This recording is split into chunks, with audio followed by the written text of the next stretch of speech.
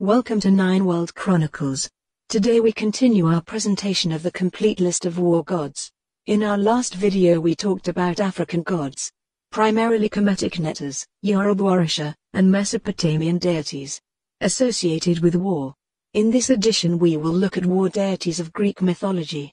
A significant difference between what we saw from Kemetic belief systems and Yoruba belief systems is how they viewed these deities in general.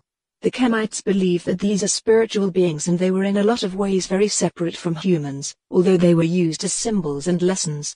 I would take the same approach with Yoruba deities, that they were above, or different, and were separated from mankind. But still they love mankind, they care for mankind, they are protectors of mankind. But in Greek mythology they had a very different idea of what gods, or the supernatural beings that they worship, are. The Greek gods are more relatable to humans. They fell in love with and mated with humans. They hybrid offspring, who lived between worlds, so the Greeks had an intimate relationship with their deities that the previous belief systems did not.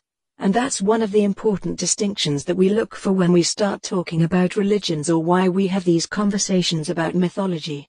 With that said, let's take a look at the war gods of Greek mythology. Alala is the female personification of the war cry in Greek mythology. She is the daughter of Polemos, the demon of war. She was an attendant of the war god Ares, whose war cry was her name, Alalalala. Greek soldiers attacked the enemy with this battle cry in order to cause panic to the enemy lines. Alk was the personification of battle strength, prowess and courage. She is a protector of the Olympian king Zeus. Alk is associated with a group called the spirits of the Aeages. Eris personified strife, Phobos, terror, and Ioke was onslaught. Ares, the main Greek god of war, despised by all the city-states except Sparta. He is one of the twelve Olympians, the son of Zeus and Hera. Ares was a rival of the goddess Athena, his sister. Athena was a more well-rounded being. A scholar as well as a warrior. She defeated Ares many times, including the Trojan War.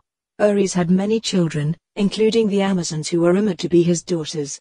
His symbols are the sword, spear, shield, helmet, chariot, flaming torch, dog, boar, and vulture. His offspring are Erots, Phobos, Deimos, Phlegyas, Harmonia, Enyalios, Thrax, Oinomos, and the Amazons. Athena, goddess of wisdom, war strategy, and weaving, more beloved by ancient Greeks than Ares and patron deity of Athens, which was named for her. Athena was regarded as the patron and protectress of various cities across Greece. Her affiliation with Athens put her at odds with her brother Ares, as he was the patron of Sparta. She defeated him in the Spartan War, and is typically regarded more than most of her pantheon. Enyalius is the son of Ares and Enyo, who is also a deity of war. Enyalius is more specifically a deity of soldiers and warriors at war. Enyo, the goddess of war and destruction. She is the daughter of Zeus and Hera. Enyo is a frequent companion of Ares who is her brother. The two have a son, the previously mentioned Enyalius. Homados was the personified spirit, daimon, of the din of battle, the shouts and cries of men and the clashing of weapons. He was probably numbered amongst the Makhai, Maki, the daimones of the battlefield. Ioke was the female personification, daimona, of onslaught, battle tumult, pursuit and rout. She was one of the spirits of the Aeages, Aegis, the tasseled arm guard of Zeus. The Keres were female death spirits, they were the goddesses who personified violent death and who were drawn to bloody deaths on battlefields. Although they were present during death and dying, they did not have the power to kill. All they could do was wait for them to die and then they could feast on the dead. The Keres were daughters of Nyx, and as such the sisters of beings such as Moirai, who controlled the fate of souls and Thanatos, the god of peaceful death. Kritosis is the divine personification of strength.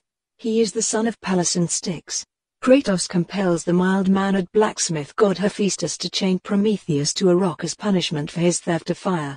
The myth of this deity has been greatly enhanced by modern gaming culture. Kydoimos, the personification of the din of battle, confusion, uproar and hubbub. Soldiers called upon him to descend on their opponents. Clearly looking at the number, specific aspects, and diversity of these war deities, we can assume this reflected some importance for the Greek people. Athena and Ares are among the most well-known deities of any myth system in the world. They are kept alive in movies, video games, and comic book stories. One may see these as forms of modern worship, renewing the power of gods who lived on prayers and worship. In our next episode we will take a look at Celtic and Norse war deities. Thank you for watching this presentation of The Complete List of War Gods, Part 2. Be sure to like and subscribe.